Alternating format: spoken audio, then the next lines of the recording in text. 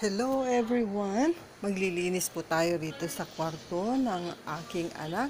Titignan ko kung anong ginagawa niya. Okay, ayan, may klase pala siya, kaya hindi niya maharap ang maglinis.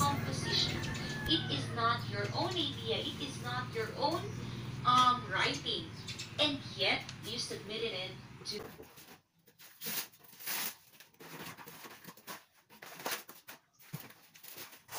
Okay, umpisan ko maglinis dito sa mga sapatos niya kasi malikabok na. Tsaka sira na rin itong pinaglalagyan niya ng sapatos.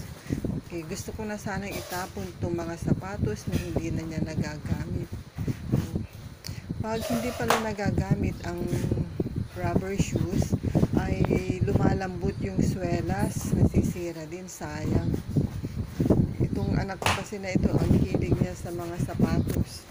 Kung, kung ako lang sana masusunod, mga sapatos na ito naman, tatapon ko na. Tama na sana yung isa o dalawa na gagamitin nila.